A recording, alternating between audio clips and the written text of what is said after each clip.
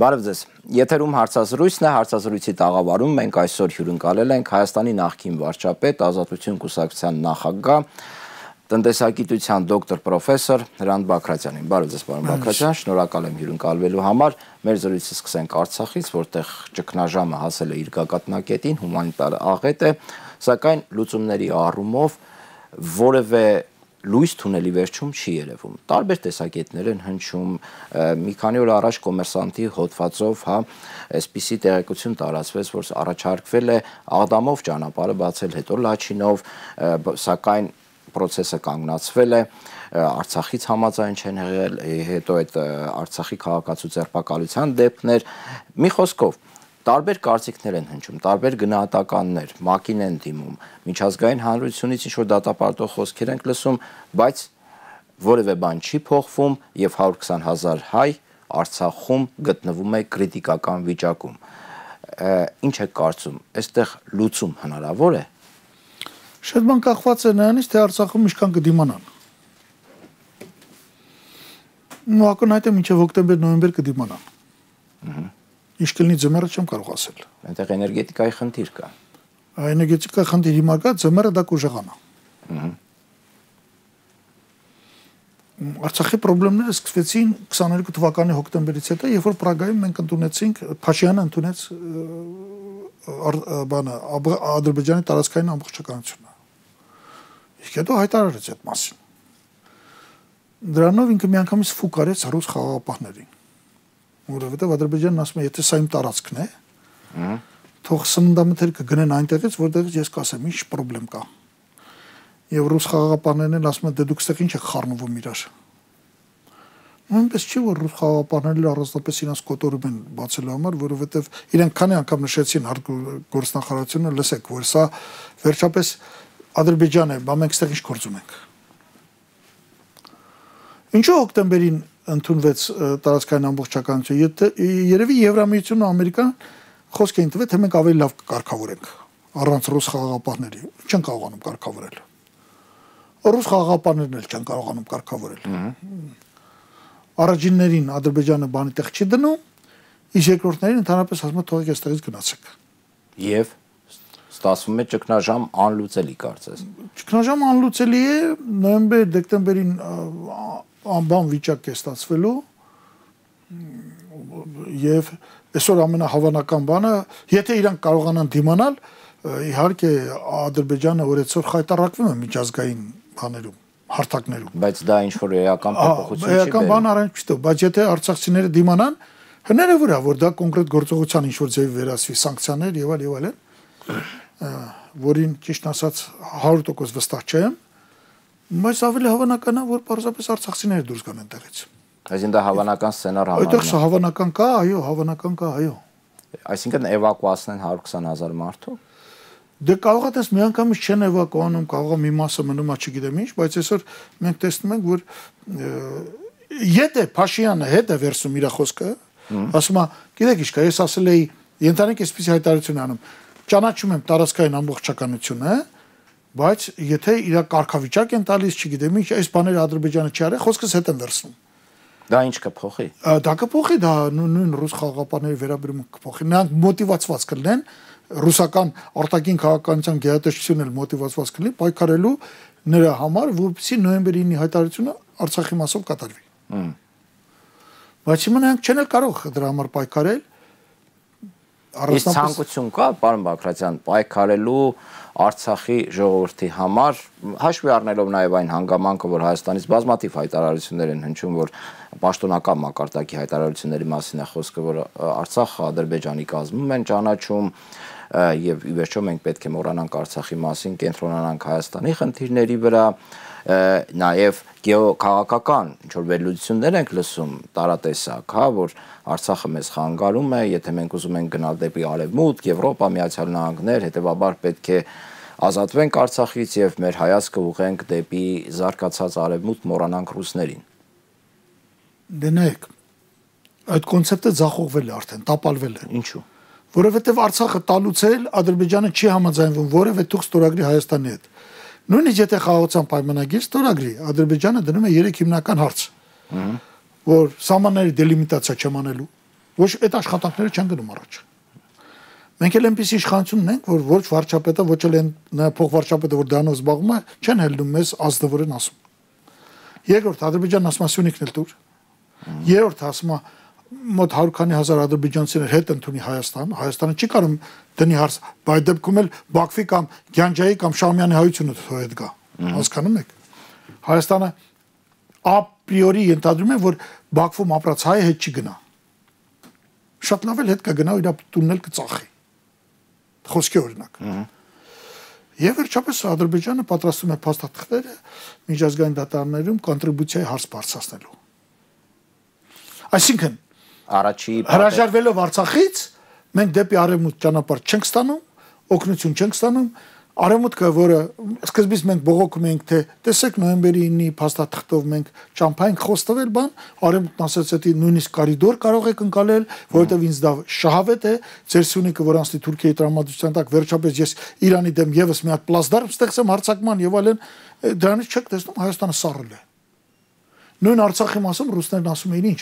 արևմուտքն ասում էր չէ այդտեղ թող գնան ամերիկյան դեսպանը չհայտարարեց որ թող գնան Բաքվում իրենց հարցերը լուծեն մինչդեռ Ռուսաստանը հայտարարում էր, որ անորոշ կարգավիճակ պիտի լինի։ Բայց հետո երբ որ մենք ասում ենք Արցախը Ադրբեջանի կազմում է Փաշյանը, որ դա ասում է, այդտեղ ռուսները ոչ են կարող գան ավելի լավ բան ասեն հայանպաստ դեպքում Ադրբեջանը կասի ընդհանրապես իմը չխոսակել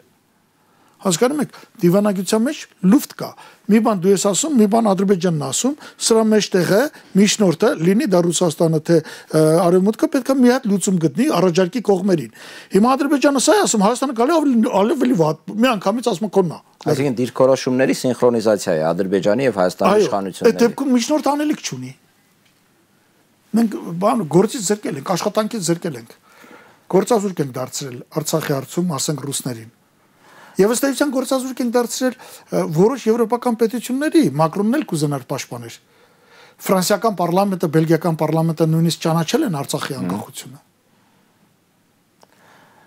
Պարոն Բակրատյան, մեզ բացատրում են, որ ստեղծված իրավիճակի պատճառով ենք հայտնվել այս իրավիճակում։ Իրավիճակը աշխարհակաղակական իրավիճակին է վերաբերվում, հա, ռուսների դիրքորոշում, Միացյալ Նահանգների դիրքորոշում, Թուրքիա-Ադրբեջան դաշնակցություն եւ ըստ էության որևէ իշխանություն, եթե այլ իշխանություն նույնիսկ լիներ, մենք կրկին հայտնվելու ենք այս վիճակում։ Հետևաբար մեզանից կարծես ոչինչ կախված չէ, այլ կախված է համաշխարային իրավիճակից, գեոքաղաքական իրավիճակից, այ եթե այդտեղ ինչ-որ փոփոխություններ լինի, մի մասն ասում է, եթե Ռուսաստանը Ուկրաինայում իր հարցերը լուծի, այդ դեպքում կարող է այստեղ ինչ-որ փոփոխություններ տեղի ունենա, մի մասը հույս է դնում արևմուտքի վրա, որ Միացյալ Նահանգները ինչ-որ կմիջամտեն, այսինքն հասարակությանը մատուցում է մի կոնցեպտ, որ ձեզանից Հայաստանից հասարակությունից ոչինչ կախված չէ, այլ պետք է ենթարկվեք վախտի կմահաճույքին եւ իշխանությունը կարծես այստեղ մեղավոր չէ դե նայեք ախեց տենց հո չի դե այդպես մատուցվում է այդ այդպես կարելի է չգիտեմ բանը ջոնիկի բակում նստած կոֆե խմելուց երկու նարդի խաղացող կարող են այդպես խոսել գոյություն ունի այսպես կոչված ռեալ պոլիտիկա Իմանանք իրանցից կախվածա թե չէ։ Ով մերժեց, որ ստե հապկի զորավարժությունը լինի։ Այս իշխանությունը Փաշինյանի գլխավոր։ Մեզից կախված էր չմերժելը։ Կախված էր։ Ով հայտարարեց Արցախը Ադրբեջանի կազմում։ Մենք կարայինք դա չհայտարարենք, կարայինք։ Ահա Այսօր լուֆտ կմնար, տեղ կմնար, չէ՞ խոսելու, որ կա չլուծված խնդրեմ։ Իսկ հիմա այսօր արևմուտքն ասում է չլուծած խնդրեմ այլևս չկա, քանի որ Արցախը Ադրբեջանի կազմում է, ռուսներն են ասում ախպեր, բայց այդ դեպքում նոյեմբերին ինչի է ստորագրում, ես ինչի էի խաղապահ ուղարկում։ Հհ։ Մենք փաստորեն մատնել ենք Արցախին։ Հասկանում եք։ Հիմա Ադրբեջանը բազմիցս հայտարարել է, որ ցանկացած առաջարկություն իր համար քննելի ավելի շատ արևմուտքի առաջարկությունը, քան թե Ռուսաստանի։ Մի պա արևմտամետները Փաշյանի գլխավորությամբ այստեղ նա խաղում է հիմնականում արևմտամետ, մենք մեկ էլ կարա ռուսամետ խաղա Փաշյանը ինքը բան չունի։ Ոգևորվել էին այստեղ արևմուտքով։ Հետո պարզվեց որ արևմուտքը ավելի վատ պայմաններ առաջարկում։ Ավելին խաղաղության պայմանագրի տակ էլ արևմուտքը որևէ կոնկրետ ուժ չի դնում, զինուշ չունի, հասկացնել տալով որ է զոր չեն բերելու Այնտեղ ես ունեմ ՆԱՏՕ, ունեմ Թուրքիա, դա հերիքա։ Հիմա սա այդպես է։ Ես չեմ ասում անշնորհակալ եմ կամ թկած ունեմ ինչ անում Եվրամիությունը կամ Միացյալ Նահանգները, բայց իրանք անում են ինչ որ անում են, ավելին իրանք չեն կարող։ Միջնորդում են, կարային դա էլ չանեին։ Եվ կա ռուսական կոնցեպտը։ Եթե արևմուտքը այստեղ ունի աշխարհ քաղաքական շահ, արևմուտքի աշխարհ քաղաքական շահ առաջին այստեղ ոչ թե կարգավորվածություն տեսնել, նախ վարժ ռուսներին վրընդել դա։ Հետո հա կարգավորենք։ Հետո այնպես կարգավորենք, որ Իրանը դուժի։ Շատերը օրինակ կծափարեն ռուսներին ողջունելը, ռուսներին այստեղից հանելու գաղափարի Ճիշտ է, ճիշտ, ճիշտ, հա, իհարկե կողողջունեն, որովհետև շատերը թքած ունեն Հայաստանի վրա։ Ես համոզված եմ, որ իշխանությունն էլ կողողջունի։ Դա կապ ունի Հայաստանի գոյության եւ ռուսների ներկայության այդ երկու գաղափարները։ Բայց կա երկրորդ մոտեցումը։ Ռուսներն էլ աշխարհ քաղաքական շահ ունեն։ Այստեղից տշել արևմուտքը։ Բայց ռուսները կենսական շահ ունեն, արևմուտքը կենսական շահ չունի ռուսները չեն ուզենա Հայաստան չլինի, Թուրքիան ու Ադրբեջանը միանան։ Ի վերջո այստեղ մի ուրիշ վատ բան կա ռուսների հետ կապված։ Ռուսները միջի մա երազում են, ես վստահ եմ, որ կարող ի վերջո կարողանալու են կուլ տալ նաև Ադրբեջանը։ որը աննայինն է, որը ոնց որ 1920 թվականին իրանք հո Հայաստանի դեմ չէին անում, ասում էին մի պետություն ենք, ոչ Ղարաբաղը թող իրաց կազմում լինի, բայց այս Ադրբեջանը ստեղծում ենք, այս Ադրբեջանը գնալու է գրավի իրանական Ադրբեջանը Երկիրը շարունակելու է ուղղությամբ առաջ գնալ։ Բայց այնուամենայնիվ մենք տեսնում ենք, որ ռուսներն ունեն աշխարհ քաղաքական շահ եւ կենսական շահ։ Արևմուտքն ունի աշխարհ քաղաքական շահ։ Հիմա ես ռուսամետ չեմ, ես չեմ ֆինանսավորում ռուսների կողմից, ես անում եմ հասարակ դատողություն, ռեալ պոլիտիկի տեսակետից։ Իսկ այն ինչ որ ասում եք, որ ով է լինի սա կլինի, ես ձեզ օրինակներ բերեցի, այդ սխալները մի արա։ Կամ վերես կենում, ասում ես Ռուսաստան զենք ենք փոխանցել, մեզ փող չեն տալի, մենք զինամթերք չունենք։ Փող ենք փոխանցել, զենք չեն տալիս։ Հա, զինամթերք չեն տալի։ Արմեն Գրիգորյանի խոսքերն են։ Նիկոլ Փաշյանի խոսքերն են իր թերթում տպած։ Հետո հելնում է մի հատ նախկին վարչապետ Հրանտ Բագրատյանը, որի կառավարության օրոք լիարժեք ցիկլով ռազմամթերքի գործանա կառուցվել, նոր, brand new։ Ասում է դե այդ չհասկացանք, եթե զինամթերք չունեք, գործանը բացիկ աշխատացրեք։ Ինչ գործարանի մասին է խոսքը, պարոն Բագրատ։ Փամփուշտ արկեր արտադրող գործանի մասին որտեղ կան ռոտորային գծեր, որտեղ կա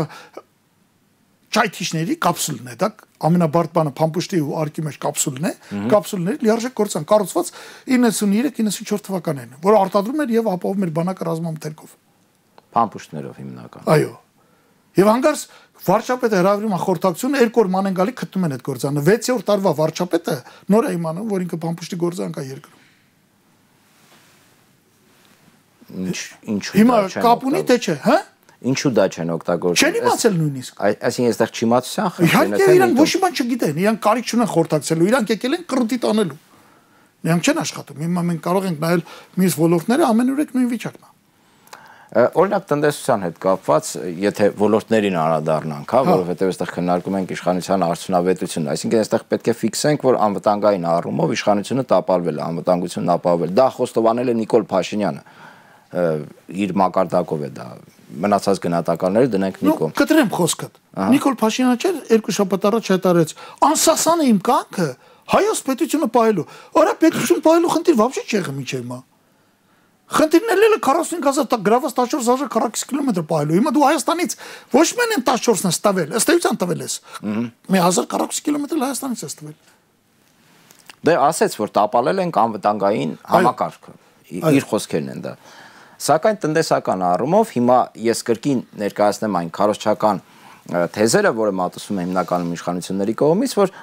տնտեսության հետ կապված տեսեք ամեն ինչ լավ է։ Տնտեսությունը զարգանում է։ Ես մի քանի ոլորտներ նշեմ, հետո արդեն առանձին առանձին կքննարկենք, հա։ Շինարարությունը, շինարարական բում է Երևանում, նաև որոշ մարզերում կարելի է այդպես ասել, բնակարանաշինությունը ծաղկում է կոռուպցիան, ասում են վերած, հա, կոռուպցիա կա, բայց այն մակարդակի չէ, ինչ նախկինում կար։ Հետևաբար բիզնեսի համար, զարգացման համար ստեղծվել են բարենպաստ պայմաններ։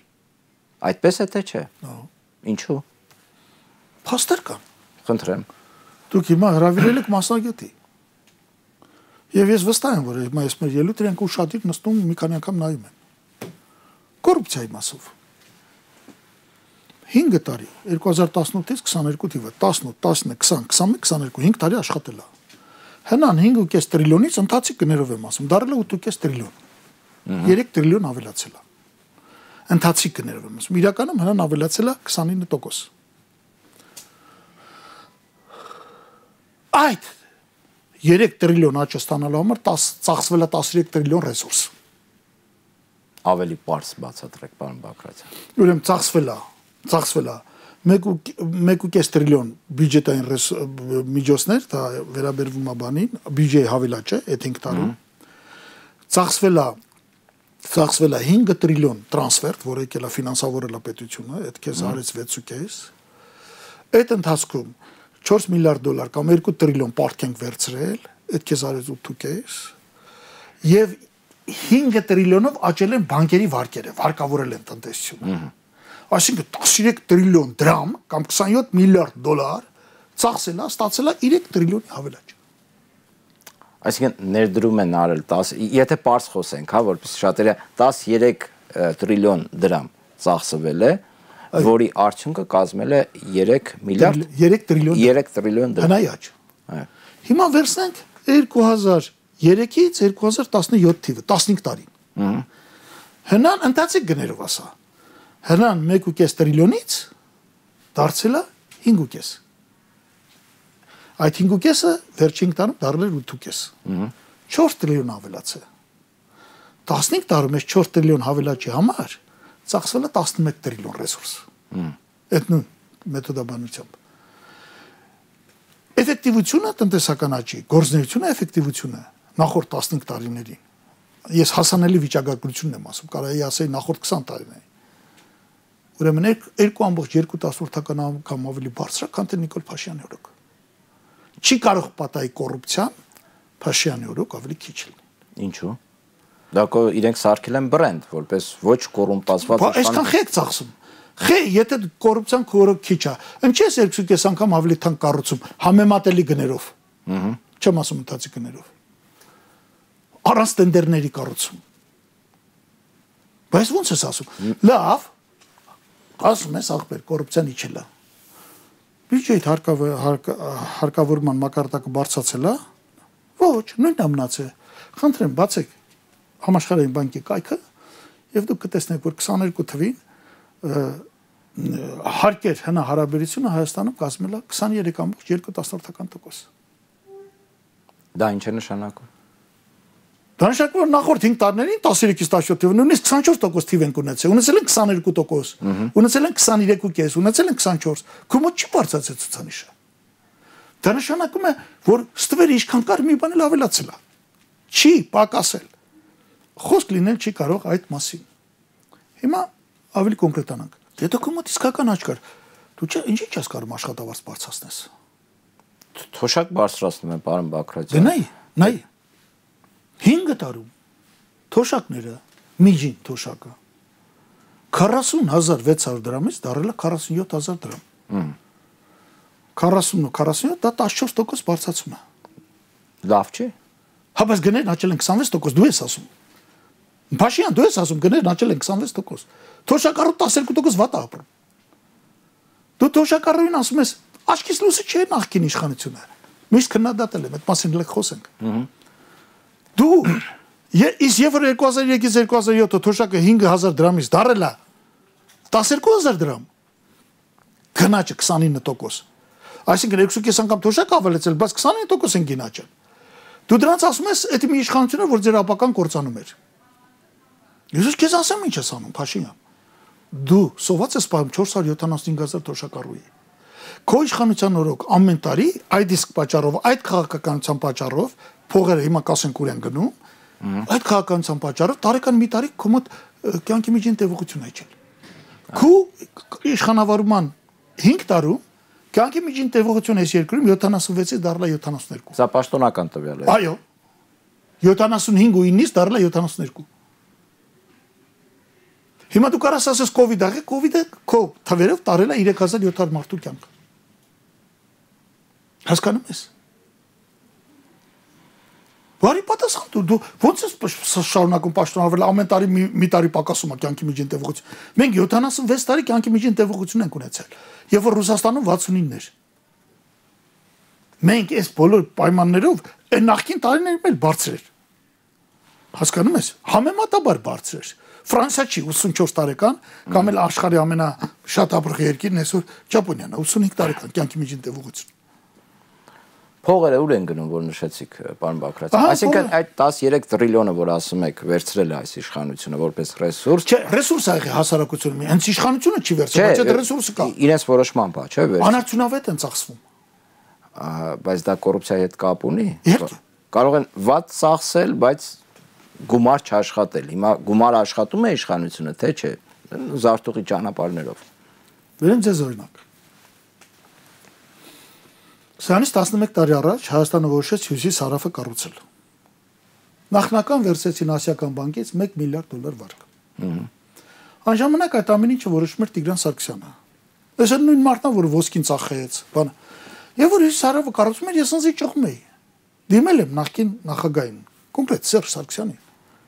լսեք, ես միլիարդ ուղեք հարավում ճամփա կառուցեք։ Այսինքն Մեղրիի կողմից։ Դեպի Իրան։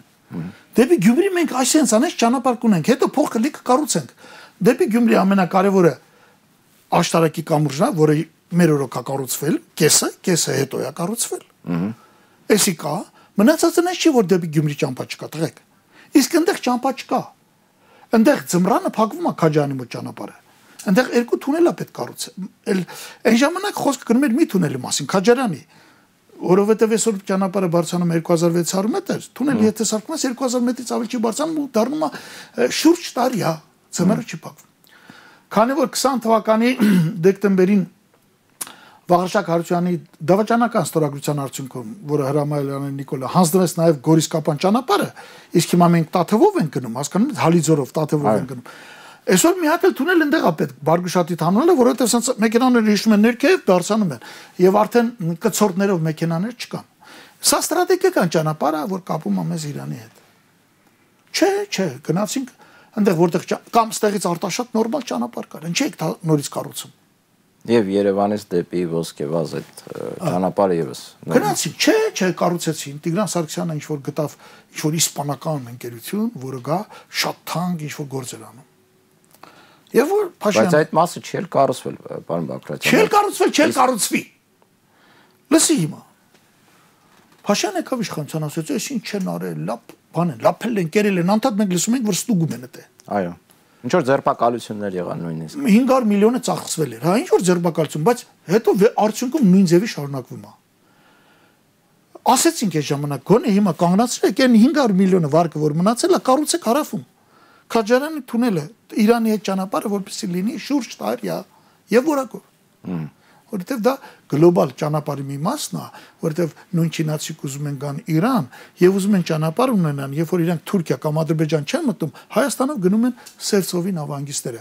Եվ դրան զուգահեռ չինացիք առան Անագլիա նավահանգիստը, ամերիկացիներից դե պարան Վրաստանում հիմա ամերիկացիք չգիտես ինչու վաճառվեց։ Սա կոռուպցիա չի։ Բայց դու գալիս ես քննադատում ես այդ ոնց տենդերները, սա նույն մարդիկ շարունակում են աշխատել դա։ Մեկ անձից գնումներն են շատացել միջակայքում։ Սա սա ի՞նչ է։ Սա կոռուպցիա չի։ Բերեմ ձեզ, վալ, շատ օրինակներ կարող եմ բերել, հասկանում եք։ Բերենք ձեզ օրինակ Երևանում հիմա լավ է, չէ՞, ման ավտոբուսներով ման են գալիս։ Թանկարժեք, այո։ Նա 2.5 անգամ ավելի թանկ, քան թե չինականները։ Այդ նույն փողով դա պարտքով առած, երկի արտակին պարտն են ավելացրել Այդ որ հիմա իշխանության ներկայացուցիչը նստում է ռուլին, բան, ղեկին լոպազանում է, պետական պարտն ավելացրած։ Հասկանում եք։ Ինչի չարվեց։ Ինչի չարվեց։ Անունը դրեցին թե 6-րդ սերնդի շարժիչը աստեղ մրցություն կա սխսուտ։ Չկա ամիտեղ, որ մենք տեսնում ենք մրցույթ։ Չկա տես բան։ Պարոն Բակրատյան, կասեն դե հա ոչ կոմպետենտ կառավարում է իրականացում շատ դեպքերում բայց այդ տեսեք ինչքան ճանապարհ է սարքվում ասֆալտապատման մասը ճանապարհ չի սարքվում վերանորոգվում է շատ դեպքերում վերա վերանորոգման որակը շատ վատն է նաև այո որովհետև 2-3 անգամ ասֆալտի հաստությունը ցածր է վերսեք նույն ճանապարհը հալիձորով ամեն տարի վերանորոգվում է ամեն տարի այստեղ կրկին կոռուպցիոն ռիսկեր կան բերք Չգիտեմ, ասենք ճամփի ենթանենք հաստությունը ասֆալտը պիտի լինի 20 սանտիմետր, ասենք ավելի քիչ է, 10-ա, 8-ա, 6-ա, եսի ինչ է։ Ահա։ Հասկանում եք, ավելի պակաս է։ Ինքը չերցեց այն օրը ձեր արած ավազը։ Հասկանում եք։ Կամ էս բոլոր ճանապարհներն էս ով ով անում։ Տարածքային կառավարման նախարարը չի գնել Սանոսյանը, ինքը եղել է աշխարհագրության ուսուցիչ։ Կամ ինչ է կարծում, երբ որ մասնագետ կա շատ կոռուպցիա կլինի, քան թե երբ որ մասնագետ չի։ Կամ ասենք ճիշտ է, որ իրավաբան առողջապահության նախարարը, մաթեմատիկոս էկոնոմիկայի նախարար։ Իրանք տկած ունեն բանի վրա։ Պատմաբանը սոցիալ նախարար։ Դա էս բան ո՞նց ալնում։ Պատմաբանը պաշտպանության նախարար։ Հետո Այո, մեր ժամանակ պաշտպանության նախարարը ռազմագիտական կրթություն չուներ, բայց մարտերում 3-4 տարի փորձված բան հերոս մարդ էր։ Այդ ուրիշ մարդիկ չեն եղել։ Պարոն Բակրատյան, շինարարության հետ կապված։ Լավ այդտեղ էլ կարող եք ասել, որ ինչ որ բան այն չի, որովհետև հիմա կասա աշխատատեղ են կապավում, բնակարաններ են սուտ են ասում։ Այդ պետք չի մեզ։ Նախ սկսենք նրանից, շինարարության ծավալները։ Այս տարի իրանք լավագույն դեպքում ընթացիկ գներով կանեն 700 միլիարդի շինարարություն։ Մենք 2008 թվին ունեցել ենք 803 միլիարդի։ Այս տարի լավագույն դեպքում իրենք կանեն 350 հազար քառակուսիմետր բնակ մակերես։ Մենք 91, 92, 93 թվին այդ թիվն ունեցել ենք։ Բայց մենք կառուցել ենք աղետի գոտում ու ծրի տվել ենք մարկանց։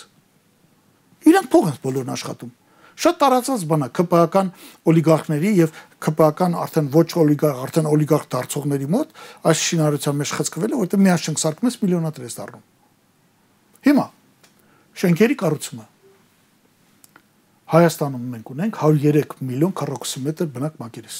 Մենք ունենք 2 միլիոն 800 հազար բնակչություն ըստ պաշտոնական թվի։ Ըստ համաշխարհային բանկի 2 միլիոն 780 հազար։ Ամենակարևոր խնդիրն է։ Մարդը հասնում է 34 մետր։ Ամեն մի անձին։ Ամեն մի անձին։ Արայլուր եք սարքում։ Հիմա ինչ են անում իրենք։ Ասում են կարիք կա, գնում են բնակարաններ։ no, no, no, լսի տղա ջան, հանգիստ արհեստական պահանջարկ են ստեղծում։ Իրանք մոգոնել են մի օրեք, որ եկամտահարկի վերադարձով դու կարող ես Երևանում տուն ստանալ։ Այո։ Բոլորը թողում են իրաց տները ոչ միայն գյուղերում, Շամշադինի, Գեղարքունիքի եւ այլն։ Բոլորը գալիս են Երևան, սկսում են աշխատել բարեկ, մարեկ, բարեկային ծառայություն եւ եկամտարկը հաշվին իրան տուն է սարքվում։ Իդեպ տների մի մասն չի վաճառվում։ Այսինքն բնակարանների չի վաճառվում։ Բան չի համար են կառուցում, որ չպիտի վաճառ։ Ծառայ դեպքում պետությունը կբան կանի։ Իսկ ինչի է կառուցվում։ Որտեղից փողը հայտնվեց, որ կառուցվում է։ Որովհետև այս երկու տարիա, այս երկու տարիա իսկական բում է, այդ եկամտարկի հետ վճարումով շինարարությունը դերևս նախորդ իշխանությունների օրոք այո բայց բումը սկսվեց անցյալ տարի բնա այն էլ Երևանում այն էլ լավ թաղամասերում հիմնականում Երևանում լավ տեղերը հասկանում եք որովհետև որովհետև 7 միլիարդ դոլարի մենակ ռուսները փող բերին դրին հայկական բանկերը այդ բանկերը պիտի վարկավորեն հիմա պետությունը եթե խելոք ղեկավարն է պիտի ասել արա սպաս ես ճամփա չունեմ դեպի Իրան արա սպաս իմ էներգետիկան քանդվում է ասում ես էներգետիկան էներգետիկայի հետ կապված ինչ կա պարոն Բակրատյան ասեմ հիմա կարծես թե ամեն ինչ լավ է բայց շինարարությունը ավարտել լավ չի արա ես ջրային համակարգ չունեմ ես ինչ ալեմ արա ջուրը 80% կորուստ ունեմ արա ես ինչ եմ ես անում արի դրեմ այստեղ բայց այդտեղ փող չի դրվում որովհետև այդտեղ չես կարող դա վաճառել որովհետև այդտեղ պետությունը պիտի դնի պետությունը պիտի խան չի անում պետությունը պետությունը ընդհակառակն ասում է այս ամեն մի շենք կառուցելուց 1 միլիոն 2 միլիոն մնում է շենքերը միջին հաշվով պիտի լինեն 16, 17, 18 հարկ, որ շահութաբերել են, լավ շահութաբերել են, ինչքան բարձր այնքան շատ շահութաբեր, եւ կառուցվում է, կառուցվում է արդյունքում այդ ռայոնների տները դատարկ թողած եւ ոչ միայն գյուղերում, ասենք դատարկվում է Ալավերդի քաղաքը, չգիտեմ, դատարկվում են նույնիսկ հրազդանից են գալիս Երևան, մեզ էլ չեմ խոսում Զանգեզուրի մասին, չի ավելանում այնտեղ, հասկանում ես, մարդիկ թողում գալիս են Երևան Այսինքն պահանջարկ կա ամեն դեպքում այդ բնակարանների։ Է պահանջարկ կա, իհարկե կլի։ Բոլորն ուզում են կան Երևանում ապրեն, արդեն մանավանդ որ վտանգ են զգում սահմանների։ Հնդակարակը պետությունը պիտի ասի ես այդ համաձայն չեմ։ Կառուցում են, բայց այդտեղ չէ։ Ինչ է սա բոլոր Երևան կառուցում են կենտրոնական թաղամասերը։ Կենտրոն, Արաբկիր եւ այլն։ Հիմա ասենք էներգետիկան, վերացնենք։ Ինքը պիտի ասի, հո-հո, ես նոր բլոկ եմ կառուցում Ասում են մոդուլային ատոմակայաններ ամերիկական համակարգ։ Հիմա նոր լսեց աղբորպես մի րոպե լսի։ Աղբորպես կառուցես կասես Էվալա։ Փաշյանի վրա ասածն է եղել։ Դժվար է ասել։ Նույն Տիգրան Սարգսյանը Սերժ Սարգսյանը պիտի սկսեին նոր ատոմակայանի էներգաբլոկի շնացում։ Մեզ մի հատ էներգաբլոկ է պետք։ Սա վաղ թե ուշ է անվի։ Ահա։ Երբ որ 95-ին մենք շահագործում ենք, երբ որ ես գնացի բացման, ես ասացի 15 տարի կաշխատի, մինչև 2010-ը, որովհետև հաշվարկված է ռեակտորի 30 տարվա համար։ 2010-ից հետո, մինչև 2010-ը պիտի կառուցենք, արդեն 96-ին վերջին մար, իմ գնալուց մարտին, երբ որ ես պաշտոնական այցուն եցա Ֆրանսիա, այսպես էր, որ ռուսները կառուցեն բլոկը, մի բլոկ։ Եվ ֆրանսիացիք անվտանգության համագարկը Ֆրանսիա ուզում ենք կցեինք. Ֆրանսիա, Ռուսաստան, Հայաստան։ Համաձայնությունը կար նույն մարտին տեղի ունեցավ նաև նախագահ Տեր-Պետրոսյանի այցը Շիրակի հետ նա քննարկել է այս հարցերը։ Հետո գործը մերցրի մինչև 2010։ 2010 թվից հետո 2-3 տարի մեկ կամ 4 տարի մեկ 300 միլիոն դոլար փող ենք տնում, բարձրացնում ենք իրան, որ նորից աշխատի, բայց մի օր պետքա փակել։ Բացի դա այսօր մենք աղետ ունենք ատոմակայանում։ Հենց այսօր աղետալի վիճակում է եւ դա չգիտեմ, Փաշյանը գիտեն այդ աղետալի ինչ առումով, անվտանգային առումով։ Մի ասեմ, ասեմ, ասեմ, հանգիստ ասում եմ։ Աղետալի, որովհետեւ արդեն աշխատած վառելիքը մենք մինչև գործարկում է 95 թվի պահպանում էինք բորաթթույով լցված բանում լողավազանում։ Ահա Երբ որ 95-ին վերագործարկեցինք, միաժամանակ կառուցվեց եւ շահագործման հանձնվեց գերեզմանոց թափոնների։ Հայաստանի տարածքում։ Այո, այո, ատոմականի թափոն այստեղից չի հանվել, մինչև 79 թիվն է հանվել։ Դրանից հետո երբ որ նույնի խորհրդային միությունը կար, ոչ ոչ Վրաստանը, ոչ Ադրբեջանը չէին թողում։ Հիմա Ռուսաստանն էլ թափոն չի ընդունում։ Միակ ձևը այդ կասետ են ասում միջուկային տվելները դնում ես բետոնի մեջ, կապարապատ բետոնի մեջ, գերեզմանի, գերեզմանը քարի է նման։ Թաղում ես հողի մեջ։ Էդ էլ դիմանում է 25-30 տարի է։ Դրանից հետո սկսում են ուրիշ ճառագայթել։ Հմ։ Հասկանում ես, որովհետև ինչպես են ասում հայերը հայերը պերիոդ ռասպադա այդ որ հանում ես այդ վառելիքը ստրոնցում։ Ատոմականի թափոնը երկու երկու ձև ունի կամ դրանից միջուկային զենք պիտի սարքես, ռում պիտի սարքես։ Այսինքն դա չհարստացված ուրան, հա։ Այո, այո, այո։ Կամ էլ պիտի թաղես այդ թափոնների չեզոքացման խնդիրը աշխարհով մեկ լուծված չի նույն Ռուսաստանում ավտոմականի վառելիքը տանում են Չելյաբինսկի մոտ մեծ ճահի ճահ այնտեղ այդ ճահիճի մեջ գցում են բետոնի մեջ են գցում ու գցում են ճահիճի մեջ էսա ուտիլիզացիայի առաջը չգիտեմ Ֆրանսիան կամ Շվեյցարիան իջեցնում են ծովի հատակ եւ այլն Այսինքն հիմա Հայաստանի տարածքում մենք օջախներ ունենք, հա, նման գերեզմաններ, որոնք կարող են մի ժամ լցվել է, գերեզմանը լցվել է մեկ-երկու գերեզման սա սա արդեն պիտի կառուցած լիներ։ Հիմա արդեն ատոմականի աշխատանքը կարող է դադարեցվի, այդ կասետները հանում են, էլ տեղ չկա դնելու։ Հմ։ Հասկանում եք։ Է, սրանով պետքա զբաղվել, մտածել։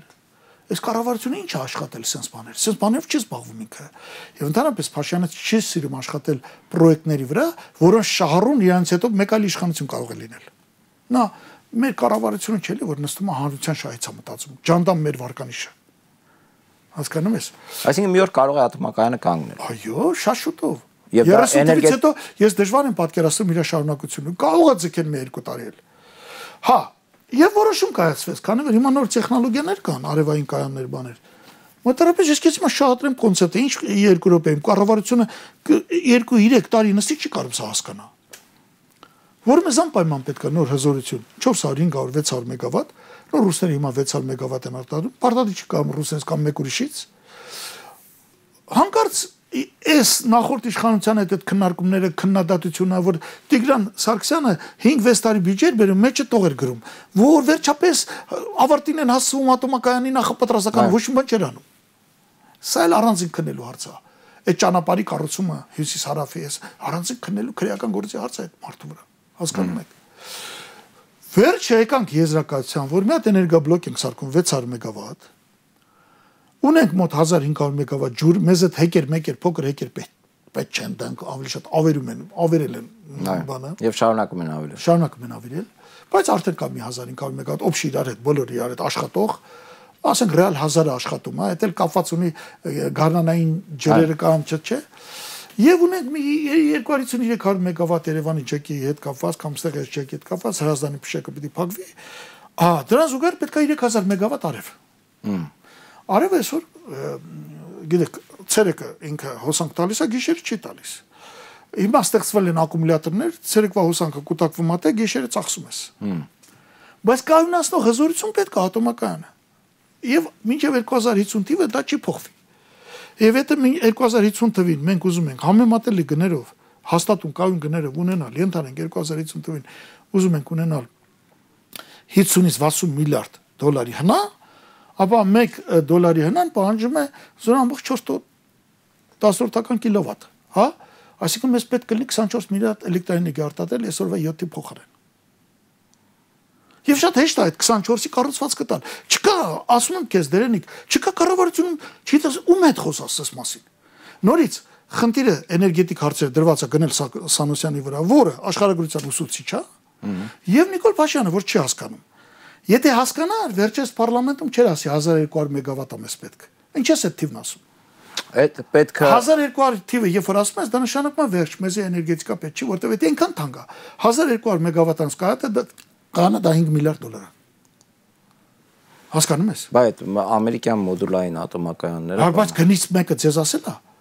Իսկ այդ մոդուլային ատոմակայանի վառելիքով է տալու։ Կա ամերիկան։ Երբևիցե բացատրվել է, խնդրեմ, եթե դա լավն է, դա անենք։ Դե եթե Կամ մեր ատոմակայանը այսօր կա իր ինֆրաստրուկտուրան օգտագործում ես։ Այնտեղ նույն տարածքում, բացարձակապես նույն տարածքում, այնտեղ երկրաբանական ճեղքված չկա, որտեղ առաջին անգամ միկրոսեյսմիրովնի դա արվել է 92-93-ին մենք արեցինք, հետո բացեցինք։ Հետո ես համարձակվեցի բացել։ Հասկանում ես։ Ամբողջ ինֆրաստրուկտուրան կա, գրադիլնին կա, որ ռեակտորը հովացնում է, այն մեծ աշտարակները, դրանք հովացնող աշտարակներն են։ Մի հատ ռեակտոր է պետք կառուցել։ ավելի էժան կնստի։ Չէ, այս այս այս ծախսերը չես անում։ Պարոն Բագրասյան, փորձենք ամփոփել։ Լավ, Այսինքն մենք ստեղ էլ կատաստրոֆա է։ Ինչի ջուրը կատաստրոֆա չի։ Թերթեր պարտում են 60, 70, 80, ես չգիտեմ ինչքան նա չի, 90% կորուստ։ Ինչ է կատարվում ջրի հետ։ դժվար Ո՞վ պիտի է։ զբաղվի։ Դրա փոխարեն ամբողջ օրը տենում ենք։ Մի անգամ չտեսանք վարչապետն ասել, «Սենց մի բան ենք քննարկել, սենց խելացի որոշում ենք ընդունել»։ Որոշում ենք ընդունում աղը չլինի կամ աղը ուզես նոր բերի։ Դե ասում եք կաթիլայինով բան արեք, որոքեք ձեր արտերն ու այգիները։ Խոսքը խմելու ջրի մասն է։ Երկրորդն էլ գյուղատնտեսությունից իրենք հասա հասկացել են կաթիլայինը։ Տեղ կա որ կաթիլայինը ընդհանրապես պետք չէ, որովհետև շատ թանկ է։ Այսինքն իրանք լսել են դա, այդ կամ գյուղը, բանը, էկոնոմիկայի նախարարը մաթեմատիկոս է։ Անդադ խոսում է խոշորացնելուց ու կաթիլային բանից։ Գյուղի փրկօրությունը փոխօգնության կոոպերատիվն է, պահպանելով հողի նկատմամբ մասնավոր սեփականությունը։ Տղա ջան, մի հատ կարթա ինչ են գրում։ Մի հատ կարթա պարցիալ գյուղատնտեսությունը աշխարհում ոնց է զարգացել։ Բայց դնում եք մարդիկ, որոնք ոչինչ չգիտեն։ Հարթակել չկա։ Ես հնարավորություն չունեմ բացի ձեզանից այս բաներն ասելու, ասենք հմեկով։ Այստեղ ընդունված չի մի լուրջ խոսակցություն որևէ տնտեսագիտական թեմայով, որևէ բանով։ Այստեղ բոլորը խոսում են կրուտիտներից։ Բոլորը։ Վերջին հարցը, պարոն Այո։ Բագրասյան, դուք քննադատեցիք, ներկայացրեցիք բացասական կողմերը։ Լավ, այս ընթացքում մի դրական բան չի եղել։ Համարյա թե չէ։ Ես կարող եմ ասել, որ որ չիմանալու հետևանքով կարող եմ թերևս ասել տենտե օլիգարխատը պահպանվել է թե չէ բայց տնտեսական միջամտության աստիճանը մի փոքր իջել է բայց դրա փոխարեն ավելի շատացել է ոչ մի տենդեր հնարավոր չի իրենց մոտ գրել շատ ավելի վատ է Այսինքն կրկին ծանոթ, բարեկամ, ընկեր Սիստեմ համակարգ բարեկա ավելի վատ, ավելի վատ։ Ավելի եւ նախորդ իշխանությունը գոնե ձևական տենդերներ էր անում, այստեղ էլ չկա։ Մրցույթները։ Մնացածը դուք չեք կարող ինձ ասել այս մի ինֆրաստրուկտուրի օբյեկտ կառուցել։ Լսեք, 3 տարի եմ ես վարչապետ աշխատել, ինքը 6։ Այդ ընթացքում կառուցվել է